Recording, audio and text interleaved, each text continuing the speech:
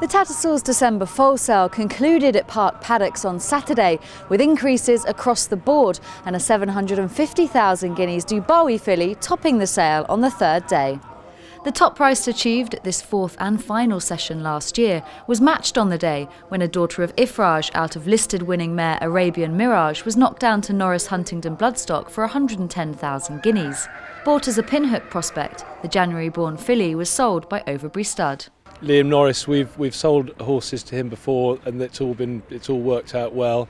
He's a wonderful judge. He gives them a beautiful home or a fabulous home. He looks after them very well, and she'll come back here next year, all being well, and, and do well for him too, and and uh, be an exciting racing prospect. She's a well-bodied filly who walks extremely well. She's correct, and that's what people want.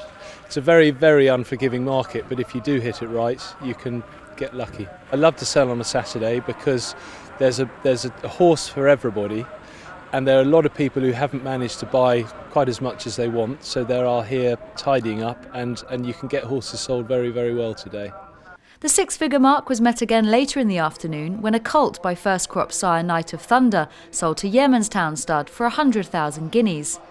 The offering is out of a daughter of the Group 1 placed HotelGenie.com, who is also the dam of Group 1 winner Simply Perfect, from the further family of champion older horse Postponed and champion two year old Biancanera. He was sold by Chris Budgett's Kirtlington stud. He really took the sale well here and uh, thrived on it actually. And uh, as the two days went on, they got more and more exciting because of the people who were who were actually viewing and coming back for a second and third look. I have a partner in the horse, and uh, I had to slightly sort of keep a cap on what my expectations were becoming. Uh, but we're thrilled, absolutely thrilled. You know, it's a hell of a result. Bought the mare in France, uh, carrying to Air Chief Marshal, horse called Zach Mayo, three-year-old now. And now the lovely thing about this is it justifies the purchase of the mare to my partner, which has always been one of those fears in my life. But yeah, I would have been happy with 50 to be perfectly honest. So to get double that, you know, all I can do is smile. Usk Valley Stud also recorded a notable sale on the final day when a colt by See the Stars from one of the stud's foundation families of Nantyglo and Scarlet Dragon sold to Richard Brown of Blandford Bloodstock for 95,000 guineas. There were three lots in the catalogue by Kingman, whose oldest crop are now yearlings, and it was a colt out of Upper Street by the Juddmonte sire who attracted buyers' attention during the final session, selling for 80,000 guineas to Blandford Bloodstock. The dam is the daughter of champion Ballymacoll mare Islington, and the offering was sold by Charlie Wyatt's Duke Stud. We bought the mare a couple of years ago for 190 grand and wanted to really get into that lovely family and we've got a lovely Oasis Dream yearling which is going to training with David Simcock. So onwards and upwards, and the mare's back in foal to Kingman. So no, it was a lovely foal. There's always something happening, and obviously you saw the Ballymacoll draft go through yesterday, and it's, it's it's just an amazing family to be involved with. So you know we want to keep it going.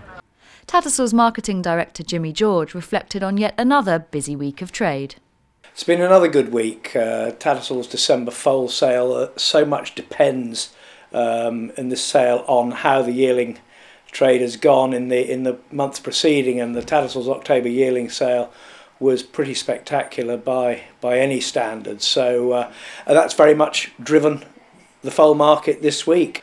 Oh, some fantastic foals all week. The cream of the British and Irish foal crop has uh, come here to Tattersalls uh, as ever, and uh, the pinhookers have been very busy competing with an awful lot of you know, of the world's leading owners as well. The end users have identified the Tattersalls December foal sale as a, as a place to find some very, very serious racehorses.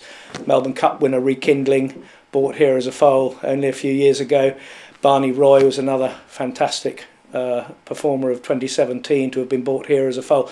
That encourages the big owners also to, to get stuck into the to the December foal market as well.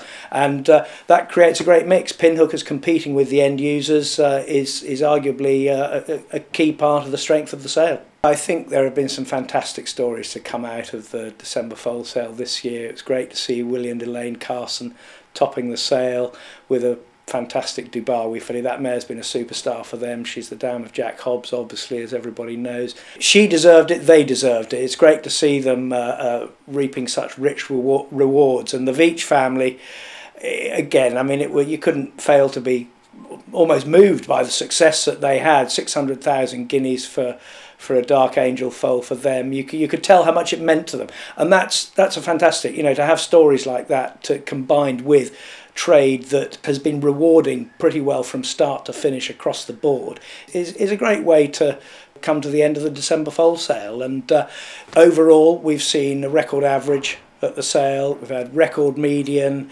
turnover breaking 30 million guineas again. That's the fifth consecutive year the December foal sale has turned over more than 30 million guineas. And uh, yeah, it's a tribute to everybody who works incredibly hard and brings some very, very high quality foals to Tattersalls every year. In, in addition to that, the, uh, the the global demand for the Ballymacoll foals has, uh, you know, it's been a feature of the autumn sale season here at Tattersalls, starting in book one of the October yearling sale. The Ballymacoll dispersal is truly a once in a generation event, and uh, the foals sold extremely well, and we're looking forward to the final instalment of this wonderful dispersal uh, in the December breeding stock sale, which starts on Monday. And I think the, the, the huge interest generated by this dispersal from the moment it was announced early, in, relatively early in the year, is in itself a tribute to the uh, spectacular achievements from Ballymacoll Stud over the last four or five decades. It's, uh, it's something we're all looking forward to